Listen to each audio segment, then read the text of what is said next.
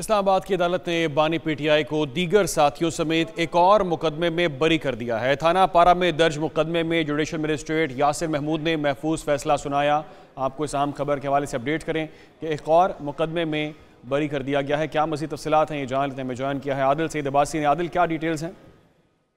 Session अदालत में बानी पीटीआई और दीगर के खिलाफ जो थाना पारा में दर्ज मुकदमे थे, उस में महफूज फैसला जो है, दरख्वास्त बरीत पर जो रहनुमाओं की दरख्वास्त बरीत थी उस पर महफूज फैसला जो है वो सुना दिया गया है। अदालत की जानब से बानी पीटीआई शाह कुरैशी को मुकदमे से बरी कर दिया गया है। अदालत ने असद कैसर फैसल जावेद शहरियार अफरीदी को भी इस मुकदमे से बरी कर दिया है जबकि शेख रशीद राजा खुरम नवाज़ और अली नवाज़ अवान को भी इस मुकदमे में बरी कर दिया गया है। बरीत पर महफूज शुदा फैसला जो है ठीक है आदिल आपने तफसील आगाह किया। बहुत शुक्रिया आपका।